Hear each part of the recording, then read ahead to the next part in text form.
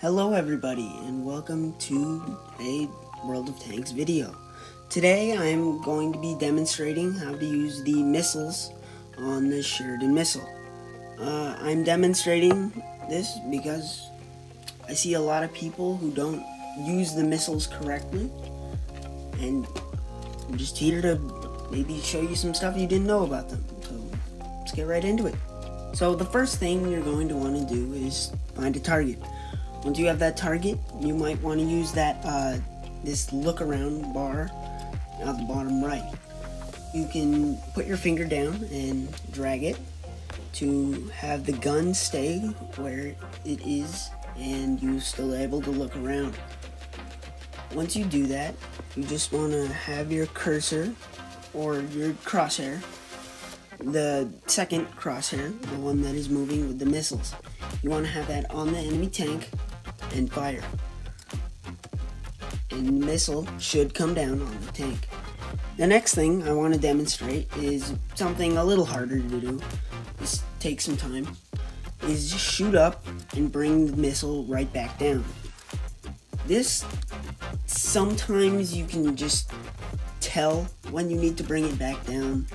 Other times you can even use the rangefinder that you should have on and you can practice this. You can practice this or you can just learn it over time.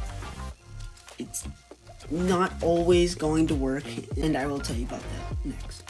The reason why that most missiles, when you shoot them up and bring them back down, don't always come back down where, you want them, even if you have it lined up, is because once you shoot up and you drag your cursor back down and it's on the dirt, that cur- the missile is going to want to track to where your crosshair is. So if your crosshair is on the dirt right in front of you, that missile is going to start trying to turn to come back to wherever your crosshair is.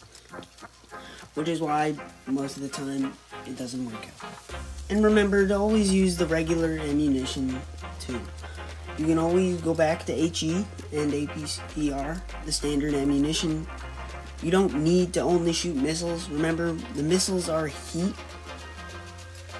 They're not just a missile, they're a HEAT shell. They're just a slower one.